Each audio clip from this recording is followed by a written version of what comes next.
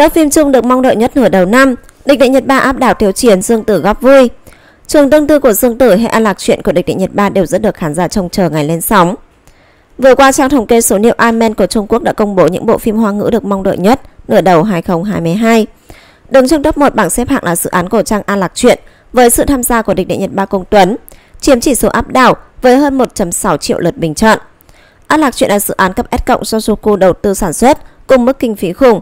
Mặc dù đóng máy từ tháng 11 năm 2021 và đã hoàn thành xong phần chỉnh sửa hậu kỳ, nhưng cho tới hiện tại thời gian tác phẩm được lên sóng vẫn còn là con số. Theo sát An Lạc chuyện là Ngọc Cốt Giao do Tiêu Chiến và Nhậm Vận đóng chính.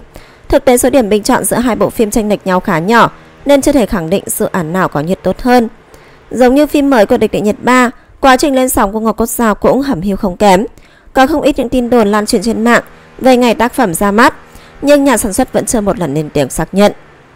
Đáng chú ý trong tổng số 10 bộ phim được mong đợi nhất nửa đầu năm, có sự xuất hiện của trường Tương Tư, dự án cổ trang đầu tiên của Dương Tử sau khi nữ diễn viên rời khỏi công ty chủ quản Hoàn Thụy Thế Kỷ. Phim đang trong quá trình quay nhưng đã thu hút được một lượng lớn người quan tâm. Các hình ảnh hậu trường bị lích ra ngoài luôn đạt mức độ thảo luận cực cao. Ngoài ra bộ trầm vụn hương phai của Dương Tử Thành Nghị mặc dù đã phát sóng vào ngày 20 tháng 7 vừa qua, nhưng vẫn được chọn là một trong những bộ phim đáng mong đợi nhất. Tuy nhiên sau khi lên sóng, phim đã bị một số người chê bai thậm tệ. Bên cạnh kỹ xảo ba xu tạo hình quê mùa, thì diễn xuất của John Cotting cũng gặp phải vấn đề. Top 10 bộ phim được mong đợi nhất nửa đầu năm cho Armin như sau.